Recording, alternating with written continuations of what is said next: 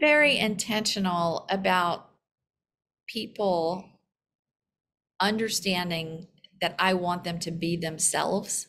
I want them to bring all of themselves to work, not just their work self. So I really try very hard to understand and know um, everyone in a way so that I can motivate them individually. I recognize that what one person needs could be very different than another's. And that is just being in tune to the human condition of what motivates one person doesn't motivate another. And I think I instill confidence because I build a confident team. And when you build a confident team and you make your teammates believe that they can do it, and then all then you just have to be the leader, which you know just have to be. It's not like it's easy, but it's much easier to lead a group of people who believe in themselves